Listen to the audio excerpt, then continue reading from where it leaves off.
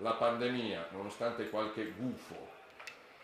io non so, o c'è qualcuno che ha, soffre di astinenza televisiva, perché adesso ai virologi sono subentrati eh, i generali, quindi magari c'è qualche virologo che soffre e quindi ci ha già annunciato che a settembre ci saranno decine di milioni di contagi. Quando leggo certe cose metto le mani sopra, sotto il tavolo, non so cosa fare perché è, è, è quello che serve proprio, in un momento complicato, con una guerra in corso, con l'inflazione galoppante, avere qualche bella provvisione di sciagura e di sventura generalizzata è quello che, che, che serve all'umore, alle famiglie. Facciamo, eh, d'altronde noi più, più, che aver fatto la prima dose, la seconda dose, la terza dose, la quarta dose, la quinta dose, noi, gli italiani hanno fatto quello che si è chiesto loro di fare